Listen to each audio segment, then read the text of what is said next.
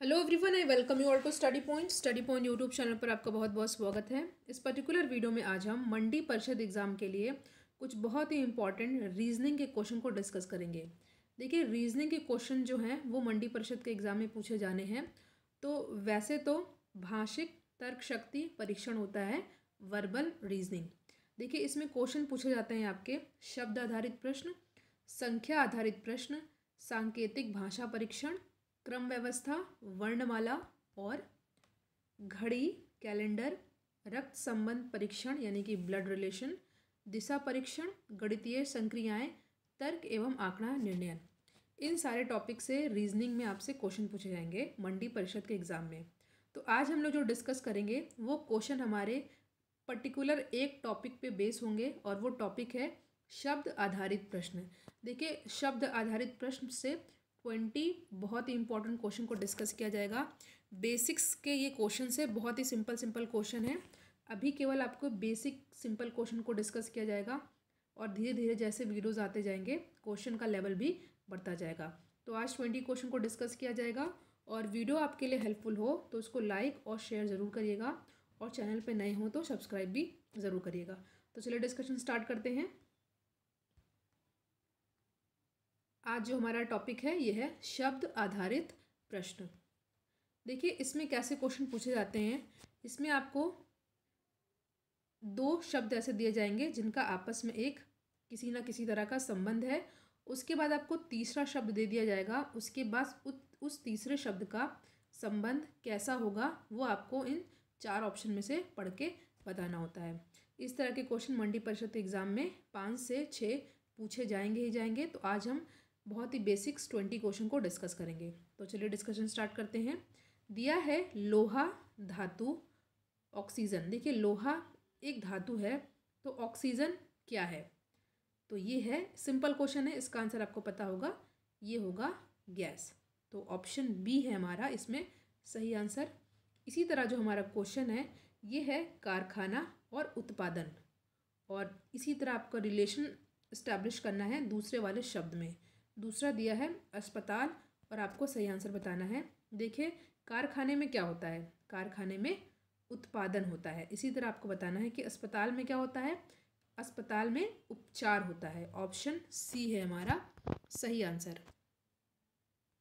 अगला प्रश्न है, जीवित मृत, यानी कि इसका जस्ट ऑपोजिट दिया है, यानी कि विलोम दिया है, उल्टा दिया है तो उसी तरह प्रश्न का क्या हो जाएगा? उत्तर option B is our correct answer अगला क्वेश्चन है, बर्फ़ ठंडा। तो भाप क्या होगी? देखिए, बहुत ही सिंपल क्वेश्चन है। और बर्फ़ का होगा ठंडा तो भाप क्या होगा? भाप का होगा गरम। बेसिक क्वेश्चन है ये। इसी तरह के क्वेश्चन पूछे जाएँगे। कपास सफ़ेद होता है तो कोयला क्या होता है? ये होता है काला।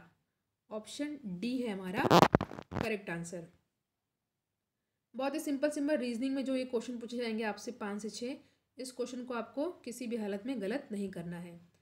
अगला है, पिता माता पिता तो बहन, इसका हो जाएगा आपका भाई बहन या भाई बहन क्या होते हैं? ये होते हैं सहोदर, यानी कि एक ही माँ के पेट से जन्मे बच्चे, सहोदर।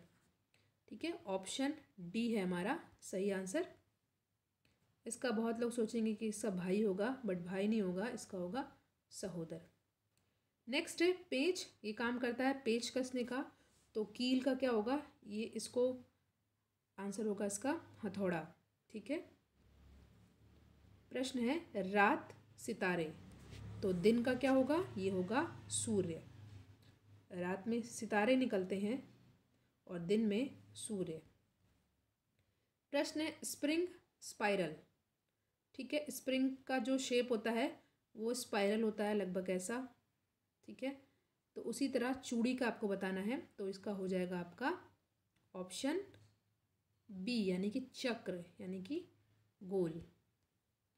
नेक्स्ट है, विमान को चलाता है पायलट तो जहाज़, इसका क्या हो जाएगा? इसके होते हैं कप्तान कैप्टन ऑप्शन ए है हमारा सही आंसर नेक्स्ट है स्कूल शिक्षक और न्यायालय में कौन होता है? स्कूल में होते हैं शिक्षक और न्यायालय में होंगे आपके वकील। ऑप्शन ए है हमारा, करेक्ट आंसर नेक्स्ट है घेंगा आयोडीन। ये रिलेशन दिया है, यानी कि घेंगा हो जाता है आयोडीन की कमी से। तो एनीमिया होता है किसकी कमी से? ये होता है लॉ, यानी कि आयरन की कमी से। तो इसका सही आंसर हो जाएगा ऑप्शन बी। नेक्स्ट है मेढक उभयचर है, ठीक है?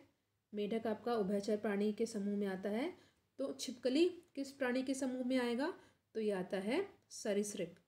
सी है हमारा सही आंसर। कीट नहीं होगा, इसका याद रखिएगा, सरिसिप रेप्टाइल पीला होता है नींबू तो बैगनी का क्या होगा? बहुत ही आसान क्वेश्चन है। ऐसे ही क्वेश्चन पूछे जाएँगे। बहुत बड़े क्वेश्चन नहीं पूछे जाएँगे रीजनिंग में। इस टॉपिक से बात करूँ तो। नेक्स्ट क्वेश्चन है, भौंकना, ये काम करता है कुत्ता।